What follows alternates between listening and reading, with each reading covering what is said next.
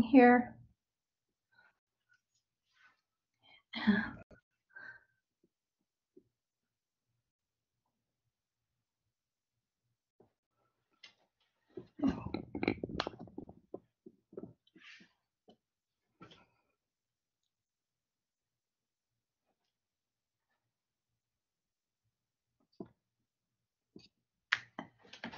And there we are. Good morning, everybody. Um, I hope you guys um, did well on the assignments that we talked about on Monday. And we're going to start with questions on those assignments 2.1 and 2.2. Today, the only section we're going to do is 2.3. And I'm going to get my list out here. So um, let's first go over questions you have on 2.1 and 2.2, if you have any. And then we're also going to talk about the Learning Catalytics quiz that you were supposed to have done for today. That was due at 10 o'clock this morning. So I'm going to talk to you a little bit about that. So first, did anybody have any issues or questions from those first two sections of Chapter 2? You can type it in the chat or turn on your microphone.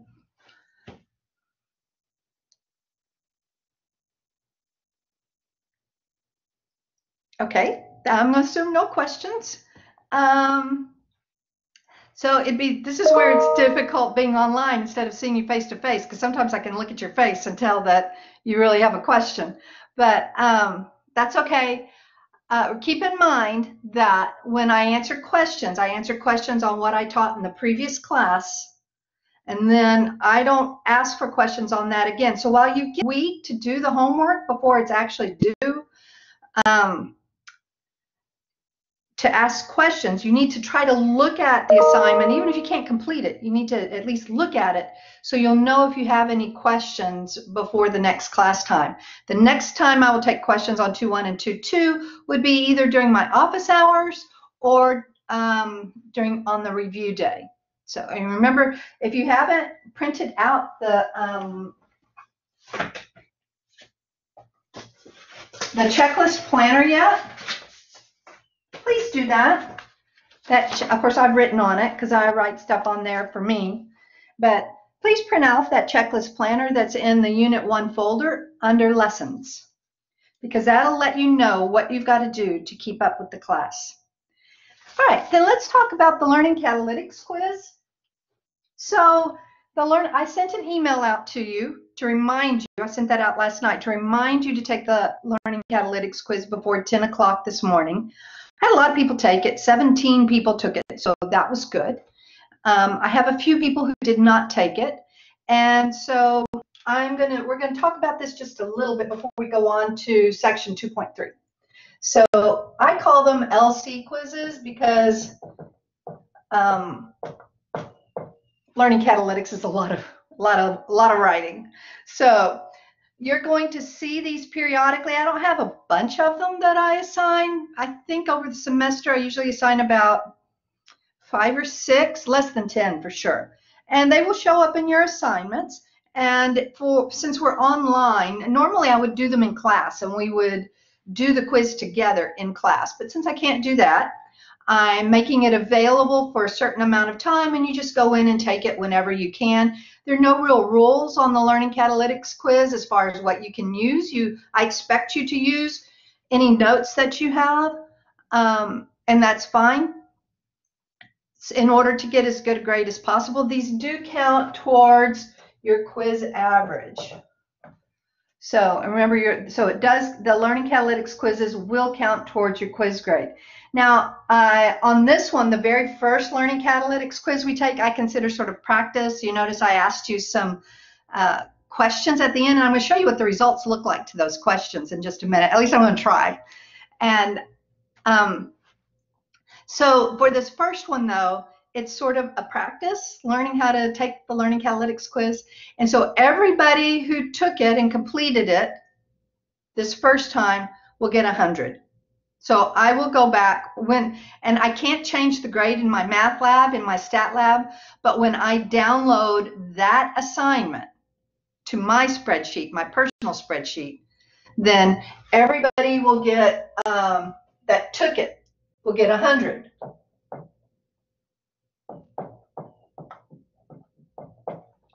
I won't be able to change it in my stat lab. We repeat that. I can't change the grades on a learning catalytics quiz in my stat lab. It, so it will stay whatever it is on your grades in, in my stat lab. So I want to point out too that the average they show you in my stat lab, you should just ignore. The overall average, it's not accurate. The only accurate average will be the one that you see in Blackboard under my grades. That will be your accurate average. And I won't put grades in there until uh, test one or right before test one. Uh, I, I, may, since our test one isn't until September 21st, I may go ahead and put a, a current quiz and homework average in there just to give you an idea of where you're at. But um, I will, and, I, and then I'll update that after you take the first test. So everyone will get, everyone who took it this time, I will give a grade of 100 when I do my grades. If you made 100 the first time, if you already have 100, I'm going to give you five extra points and your grade in my records will be 105. Now, there are a few of you who didn't take the Learning Catalytics quiz at all. Okay? So right now, what you have for that is a zero that's going to be averaged in. I'm going to make the Learning Catalytics quiz available again. Those of you who haven't taken it yet, you will have a chance to take it again. Then that and that will be it. And whatever grade you get is what you get. So you won't have the automatic 100 because you didn't take it by the due date. Um, and if you make 100, I'm not changing that to 105. So um, I'm going to give like, I'll, I'll, probably give until, I don't know, Sunday, just in case some people need the um, weekend. I'll probably give until Sunday to take it. But from this point on, when there's a Learning Catalytics quiz there, you need to pay attention to the due date and make sure you complete it by then or you'll have a zero on a quiz. Okay? Any questions about that? And then on Monday, everybody who's going to take it will have taken it, and we'll look at the results together. All right? And we'll use that as part of our review. Not Monday. I'm sorry. Monday is Labor Day. We don't have class on Monday. Let's write that down. No class Monday. Is it Monday Labor Day, guys? Um, that's September what? 7th? Isn't Monday Labor Day? Yes? Yes. Okay. Okay, so we won't have class on Monday. So I will see you on Wednesday. So on Wednesday, which will be like the 9th, I guess, on Wednesday the 9th, and I, pretty sure I left Monday off.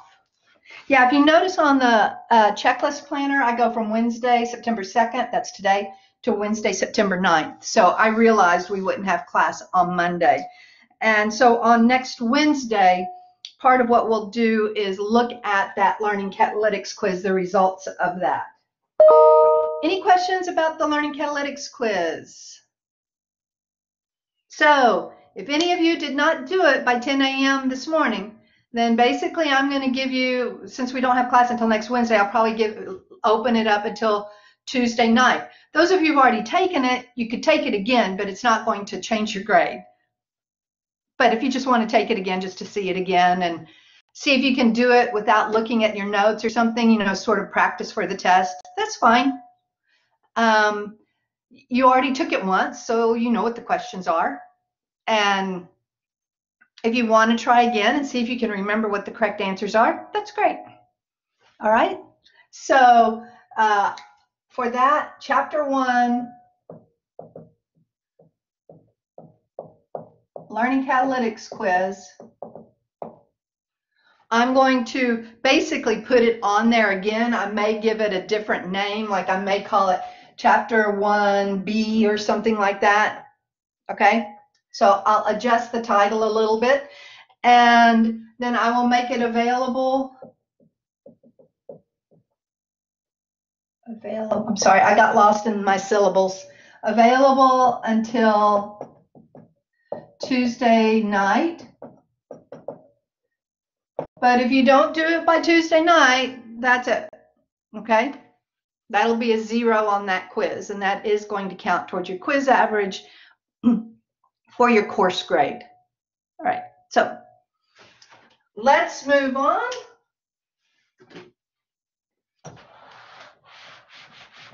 And those of you who did it the first time, uh, great job.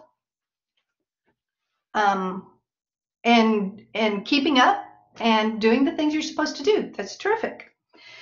Uh, for those of you who weren't able to do it when you were supposed to, then uh, just try to, I, I, try to tell you in advance, and you can see usually on the checklist planner when I'm going to give a learning catalytics quiz. So I believe the next one, I'm looking at our checklist planner. The next Learning Catalytics quiz is on Wednesday, September 16th. And I may make it due that day. In fact, I probably will because I'll want to go over it as part of our review. So think of that one as I don't I may I'll probably put it I'll put it on before Wednesday, September 6, 16th. If you have your checklist planner out, then on Wednesday, September 16th, where it says uh, Chapter 2 Learning Catalytics Quiz, uh, put there that it's going to be due that day, like before class. And I will send an email out about that as well. All right, let's go on to uh, section 2.3. And I think I'm going to erase this other stuff here, except I'll leave that up there.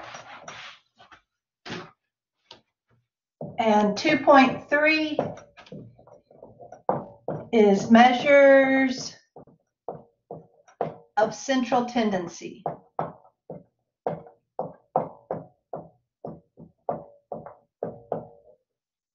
So we're going to talk about what these things are um, first.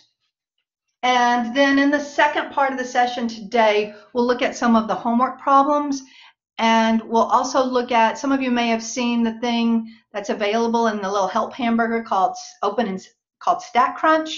And so uh, if any of you are interested in learning how to use StatCrunch for some of the problems, then um, that I'll go over that, the instructions for that in the second session today. All right, so there are three measures of central tendency, and they are mean, The other two start with an M also. Has anybody looked ahead? I know some of you know this already. What are the other two measures of central tendency? That means these are numbers that kind of describe the middleness of a data set, like the center. It descri- kind of describes the center of the data set. Median. Median. Mm-hmm. And what's the third one? Mode. Very good. Those are the three measures of central tendency. I'm going to be honest with you, I'm not real sure why the mode is considered a measure of central tendency, but it is, so we're going to leave it there. Definitely median we understand because median is the middle, just like the median of the road is in the middle of the road. The median of a data set is the middle number. We're going to talk about how to do that. And I'm going to take some actual data. I thought I would take um, some test grades on test one from my spring class. And we'll do these measures on it. And that, of course, will be a sample. And we will talk about the difference between sample mean and population mean. Don't forget to look over and study your symbols for the different, uh, that, that, that I gave you, the symbols list. So these are things I really need you to print out. Um, if you only can only go to if you don't have a printer and you need to like uh, put it on a flash drive or something or and, take it up to office depot or something to get them to print it out for you go ahead and figure out all the things go ahead and find all the things that need to be printed out in every unit folder that i have in there so far and maybe that will reduce the number of times that you have to do that hopefully i don't really like the idea of you having to go repeatedly. So try to look for those handouts in the different unit folders. I don't have all the checklist planners up yet. Um, so that's that's going to be difficult, but um, I can try to get some of them up. At least only have to go once per unit. So maybe go and have everything printed off for unit one, and then go have, and then when we get to unit two, do that one. All right. So let's first talk about mean. Mean is another word for something. We don't usually call it the mean. When we find the mean of a set of numbers, we find the mean of our grades all the time. Mean is just another word for what? Does anybody know? We usually call it something else. It's the same thing as average, right? And we've all done averages. You've all averaged your grades at one point or another. So the mean of a data set is just the average of the numbers. The median, let's talk about that a little bit. I already told you it will be the number in the middle, but it's the number in the middle when you put them in order. Otherwise, you could scatter them and a different number would be the median. So this is the middle number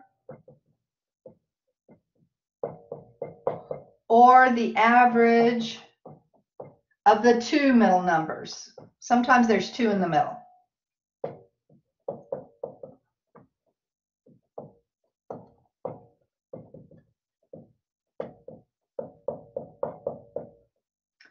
And then mode.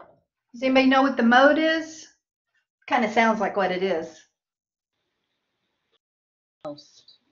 Most, right, Christina? So the mode of a data set is the data value that occurs most frequently.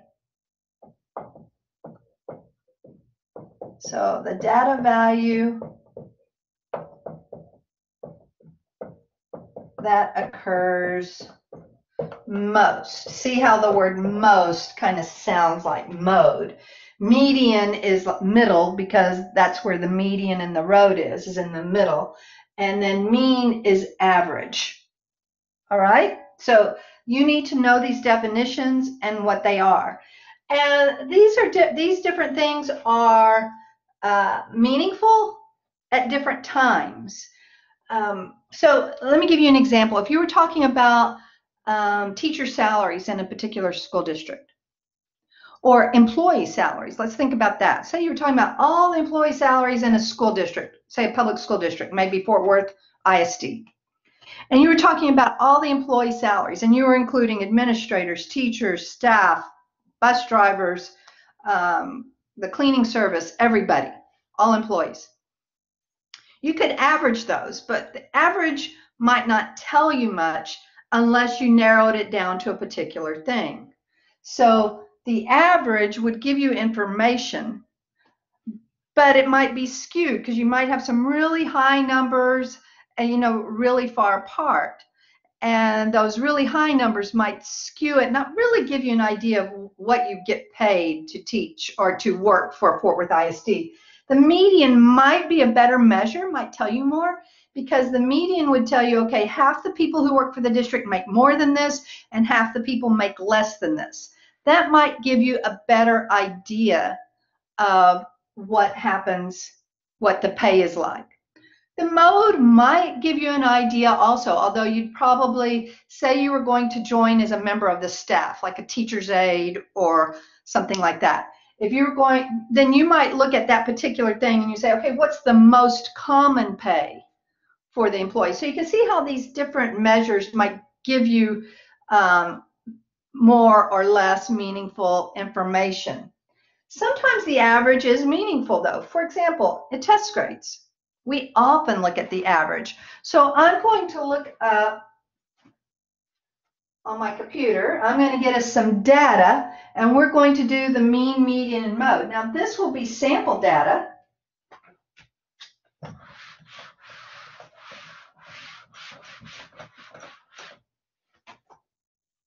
And I'm going to kind of do it, just pick some grades randomly from my spring class. So give me a second here. Real data is a little bit more fun to deal with than made up stuff.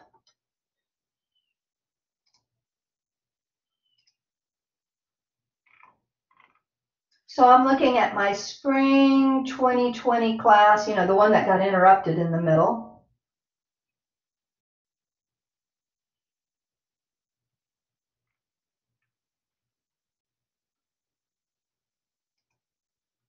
And I'm going to look at the grades on test one.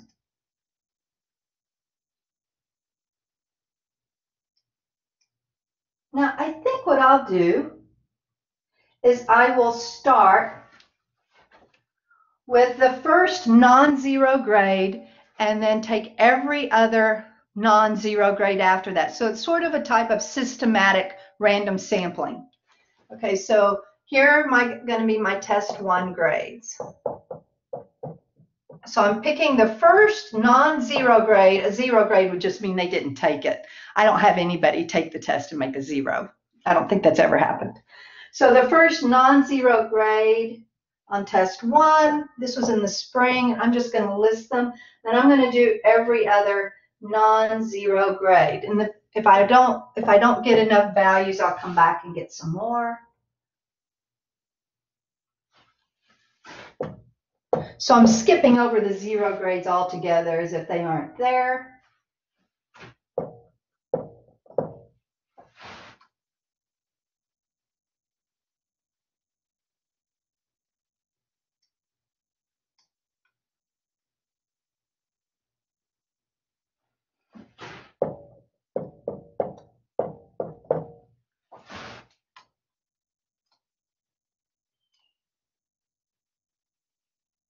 What's the last one I put up? 60, 98.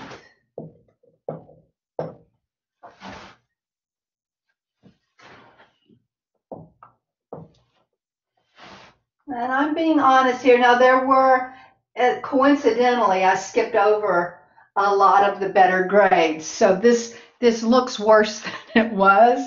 Um, so I will, I could have looked at all the grades, but I didn't want to do that many numbers it actually was better than this.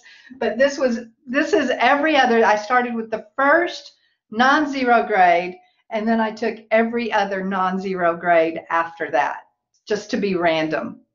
And so, um, what I would want to do with these, if I wanted to find the mean, median, and mode, is I I like I like to start with going ahead and putting them in order from smallest to biggest. So if I put them in order from smallest to biggest, it would be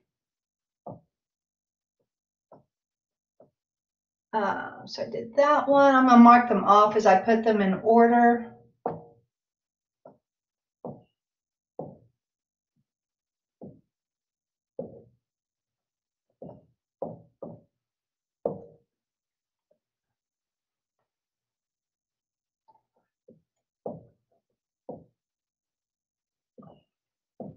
I did actually have several A's, but just coincidentally, um, as I was doing every other one, I was skipping over a lot of the A's. I just don't want you guys to panic.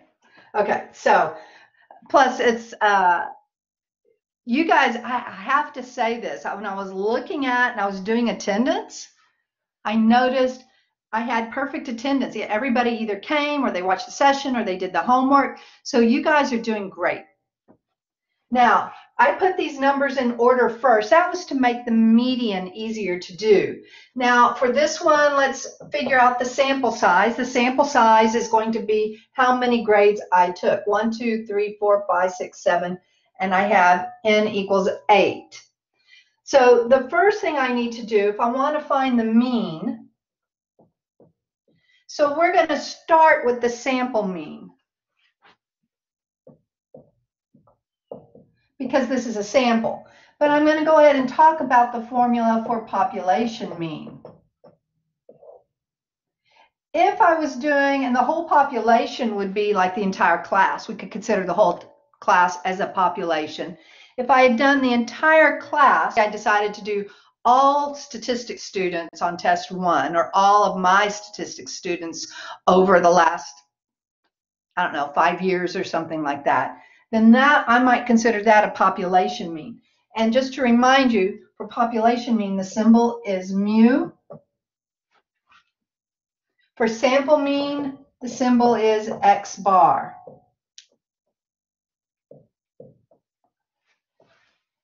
So we're going to find X bar because we're finding the sample mean. If we were finding the population mean, we would call it mu. Remember, that's a Greek letter mu. Now, the way we find that is we first, you guys know how to find an average, right? What, what should I do with these numbers first in order to find the average? How do you average your grades? What do you do first? Add them up, divide by eight. Add them up and divide by eight. That's right. Now, we have a symbol that means to add them up. So we're going to use that in our formula. So I could say the sum, hopefully you guys can see this down here. Capital sigma, that's a capital sigma, means to sum up. And I'm going to say the sum of the x's. So we're going to call our data values our x's. Okay, so the sum of the x's, and I'm going to get that. So we start with the sum of the x, and sometimes you'll see an i there. And that little i, it just means, that's just a counter. That means I'm going to sum up x1, x2, x3, x4. And in this case, I, like this first one, that would, that would be x sub 1. This would be x sub 2.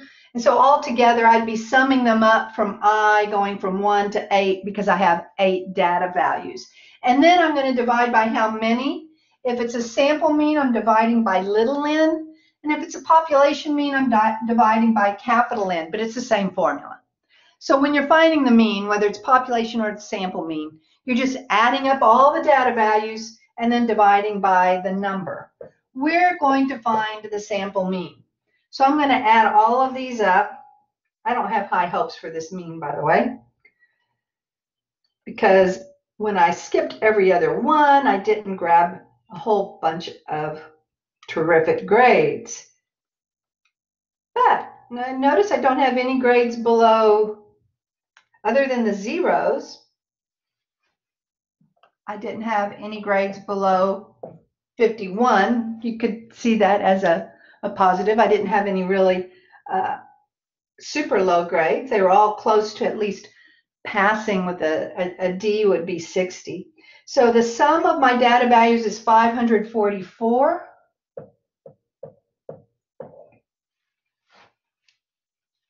And I would divide that by the sample size, the number of values, which was eight. And if you were showing work, and on one of the uh, problems on the, I'm going to give you a practice quiz to do with Proctorio, with the proctor, with the proctoring service, so you can practice with it. And on that one, there's going to be one question where I want you to show your work and I want you to show your work on, it's the one that's going to ask you for the mean, median, and mode. And so what I'm showing you now, this is the kind of work I would expect to see for the mean. So I would like to see that your sum, this right here, that work. And then I'm going to divide that by 8. And that divided out evenly to an average of 68. If it had not divided out evenly, then I would be told to round to a certain place. When you're doing the mean, if you're not told what to round to, there is a rounding rule. So I'm going to write the rounding rule for the mean. It's sort of a default rounding rule. So if they don't tell you what to round to, well, in fact, let's call it that. Let's call it a default rounding rule. And this is for finding the mean only. The default rounding rule is to round one decimal place past or further than the data. For the mean. And this is a very common rounding rule for a lot of things we're going to do, for a lot of measures, is to round your final answer one place past the data. And let me explain what I mean by that. So if you look at our data, there are no decimal numbers after the decimal point. They're all whole numbers. So to go one decimal place past the data means if I if this had had a point stuff here, I would have rounded to that first number after the decimal point. So these are whole numbers. So if I need to round, I would round to the nearest tenth, which is that first place after the decimal point. If these numbers had been to the tenths place, like if this had been 51.5, if any of these had been to the, then I would round my mean to the, to the. Right, the second place. And if they had been hundredths, if there had been hundredths, I would round to the thousandths place, three decimal places.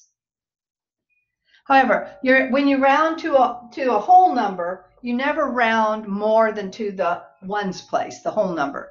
So even if none of these had any numbers in the ones place here, say it had been 50, 50, 50, 50, 60, 70, I would not round to the tens. So the, the most you're ever going to round is to the nearest whole number, which is what we ended up with for our final answer here. So our mean ended up being 68. And that's going to be X bar. And try to get used to when you're doing your writing your work on paper, get used to using the different the correct symbols for everything so that when you take a test and you see a formula, you'll know what the symbols mean. One of the things I want you to print off is the formula sheet for test one, which we'll take a look at later. But if any of you have already printed it off, that is a that formula sheet you're allowed to use on test one.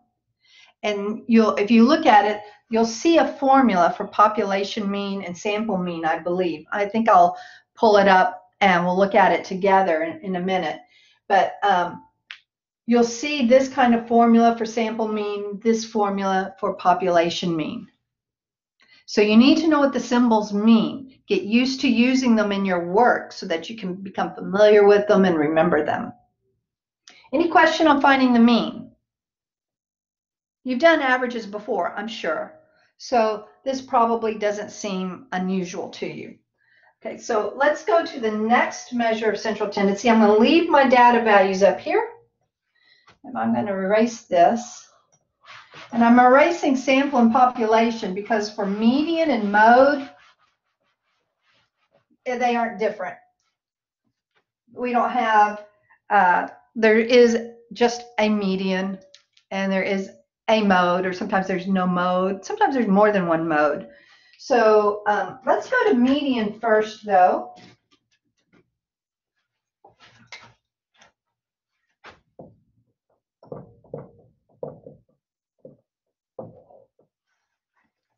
And we don't have a sample and a population median, we just have a median. And on this one, remember we had an even number of numbers. What that means is there's not going to be a number right in the middle. Notice if I count, so I'm going to move my fingers in, and I land on two in the middle. If you have an odd number of numbers, so if you could picture, say I had, um,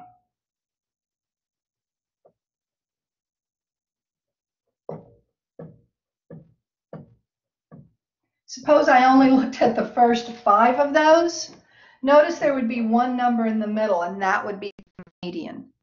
The median of that list would be 56. But the median, to get the median for this list, because there are two in the middle, I'm going to find the median by averaging them. In other words, I'm going to find what the halfway point would be right there. That's really what we're looking for. So we're going to take those two numbers, 59 plus 64, and divide that by 2. We're going to find what number is exactly halfway between. And we're never going to round this. So in my calculator, I'm going to do 59 plus 64 and divide that sum by 2, and I get 61.5, and that is going to be our median. Notice in this case, the median is not a number in the list. It's halfway between the two middle numbers. When there's an odd number of numbers, the median is actually a number that's in the list because it's the number, the data value that's in the middle. Any question about median? Okay, great. All right, we're doing pretty good on time. Let's talk about the mode now.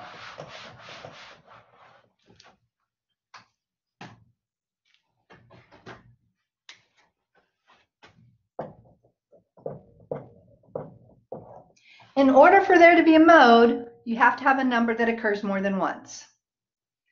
And if you look at this, I didn't have a number that occurs more than once. So this set of data has no mode. However, I'm going to look back at the grades and see if any of the grades were for test one. Um,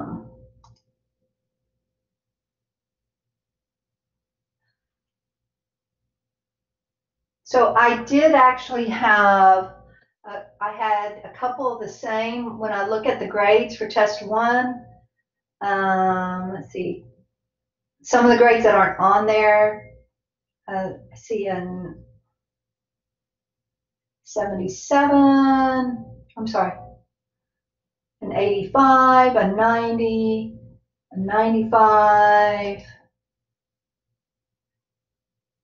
There are a couple, there was another 59. So let's look at how that would change things if I added that other, if I added another 59 in here. First of all, that would change the sum.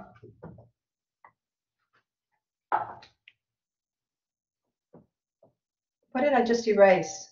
I don't remember. 64, that's what it was. Okay. So I added another 59 in here. Notice I still, I write it down twice.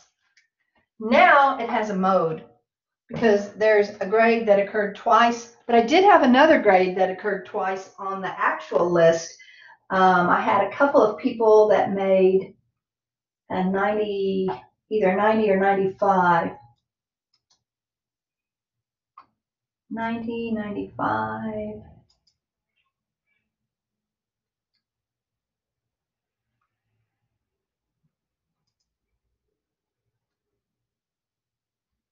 Yeah, I had a couple of people that made 90. So you can have more than one mode.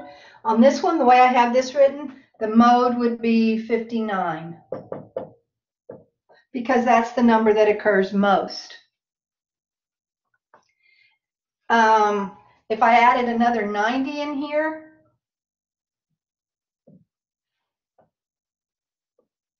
because I had two 90s on the test, now I have two modes. Those were the most common. Let's suppose, okay, so I'm just playing with the numbers to show you what to do with mode. Let's suppose I had a third 90 on here and two 59s. Then 90 would be the only mode because it occurs most. So you can have more than one mode. You can have no mode. You can have um, so you just, you're just looking for the one that occurs most and it has to occur at least twice. So now if every single number occurred twice, they wouldn't all be modes because you have to have, in order to be a mode, it has to occur more than at least one other data value.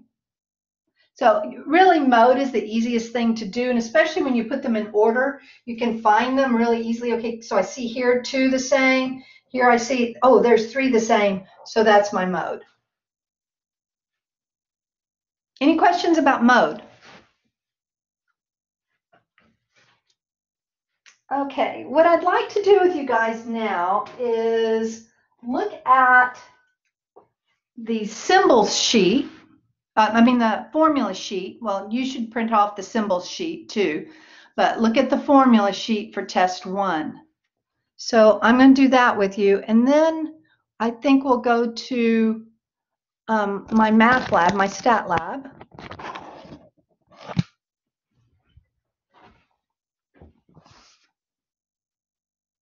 And look at a question or two from this 2.3 assignment.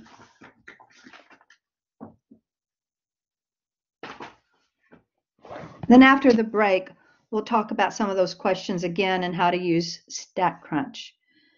So hold on just a second. I'm going to um, go to, I'm, what I'm doing is, actually, I think I'll go ahead and share my screen with you so you can see what I'm doing.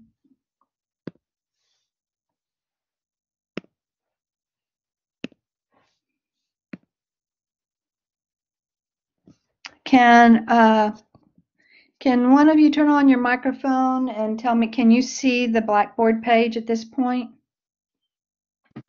Yes. Yes. Okay, great, thank you. So this is the home page, of course, and I'm going to go to Lessons. And Unit 1, did that show up? Can y'all see what I'm doing? And see all the documents I have in Unit 1? Yes. Terrific.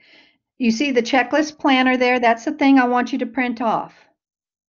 Then the list of common symbols, that's another thing I want you to print off. These PowerPoints, I wouldn't print off PowerPoints, but if you want to look over them, if you had trouble with any of those sections. Then you see here the test one formula sheet. Now I'm actually going to click on that, on the link. Sometimes when you open a link, you have to go down to the bottom and tell it to open it up. But this is the test one formula sheet. I want you to print this off because I'm going you're allowed to use this on the test.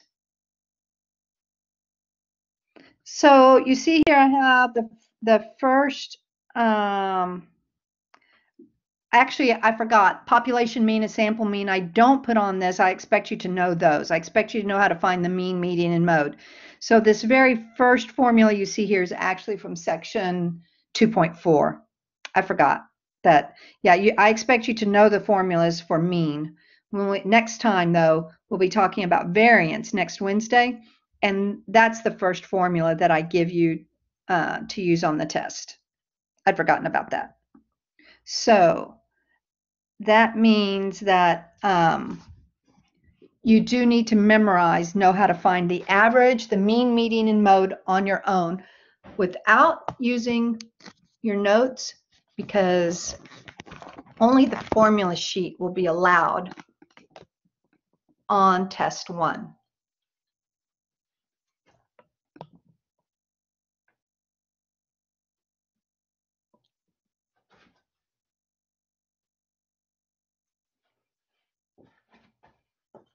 All right. Um, let's see. It's not quite time for the break. Let me see how long we have. I Have about 15 minutes. So let's go to my math lab. And if you can, I'd like for you to go to my math lab as well so that we can do a problem or two together. So I'm going to try to go to this and I'm going to need you guys to give me feedback if you're not seeing the whole thing. Hold on a second. I'm going to, yeah. So.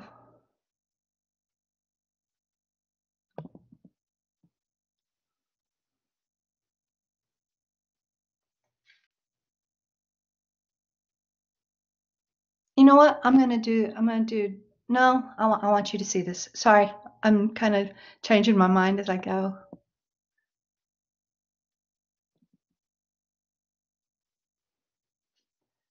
I need to share my screen with you so you can see what I'm doing. Let's see if this works.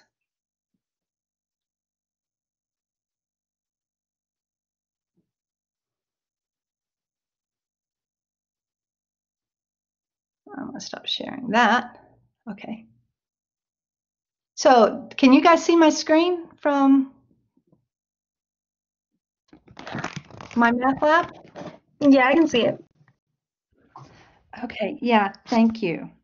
So I'm going to be clicking on things. And so Natalie, since you answered that, if you will tell me, you know, if you can't see what I'm doing, then then I'm not going to waste your time if you can't see it. So on this, notice for 2-1, uh, 2-1 and 2-2, you can't start that one until you have done the um, Chapter 2 skills review. But I'm going to go to this assignment, 2.3, question 1. So Natalie, is that showing up, question 1? Um, I can see where it says question one, but it didn't open up all the way. I can't see the question. You can't see the question? I just see Let question one, question two. Okay. Let me try again, okay? Does anybody see question one? No. No? Okay, then that's going to be a waste of our time if you can't see that. Um, I will have to do screenshots. If you're looking at your own question one, um, I'm going to read this, I'm going to read it to you, just this one question, so you'll get an idea of the first question. I'm sorry that you can't see it. Um, the first question says, determine whether the statement is true or false, and if it is false, rewrite it as a true statement. And it says a data set can have the same mean, median, and mode. So let's discuss that a little bit. And then during the break, you can work on some of 2.3 and see what questions you have. So this very first question here, I'm going to go back to this.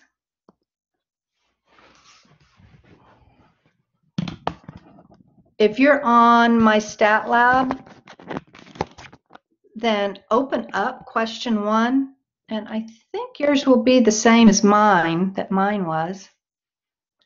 And it said, true or false, a data set can have the same mean, median, and mode. Do you suppose that the average, the middle, and the most, is it possible for them all to be the same number? I'm not saying does it always happen. Obviously, it doesn't always happen. It didn't happen on our example. The question is, can it happen? Can they all be the same number? What do you think? No, I don't think so. Okay, let's see if we can make up a data set. So, um,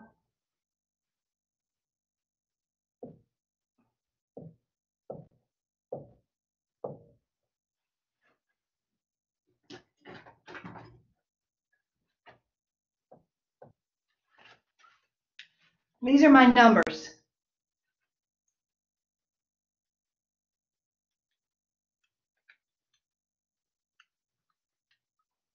Find the mean, median, and mode. These are the numbers. So to find the mean, what I would add them, right? So, and I believe these add up to three, five, seven, nine. These add up to 10.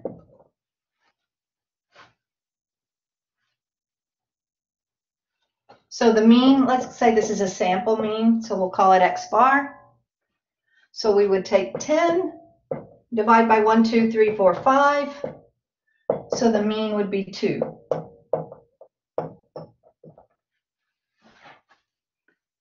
I put these in order. What's the median of this list? There's five data values, so there should be one in the middle. Do you see the one in the middle?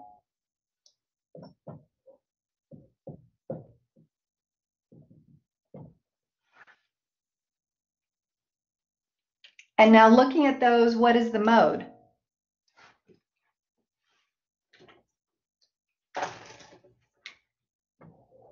Isn't two the most frequent number? Now, it's unusual, kind of, for the mean, median, and mode to be the same number, but we're going to find out later is that in things in real life, like um, people's heights and weights and things like that, there are a lot of things in real life where the mean, median, mode are the same number. We're going to find that out. So it is possible for the mean, median, and mode to be the same number. It's kind of hard. I mean, I made this one up and I was trying purposely to make it come out. But the, the fact is that if, if it can happen, then it is true that the mean, median, and mode can be the same number. Now, before you go, I need to check roll real quick.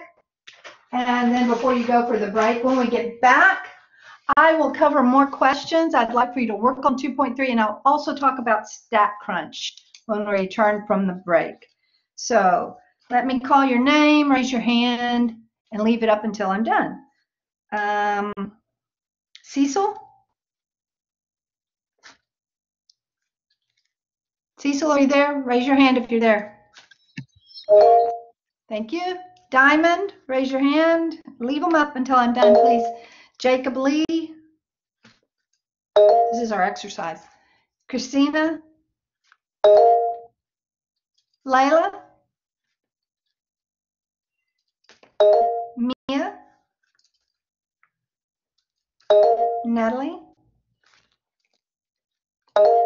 Samira. Stephanie Garza. And Temperance. Did everybody hear, hopefully everybody heard your name. If you didn't hear your name called, let me know. And everybody can put their hand down. And we'll just take the break early. So we're going to have a little bit longer break today, uh, about 35 minutes or so instead of 30 minutes. And we will get back together at noon. And at that time, we can go over, hold on a second.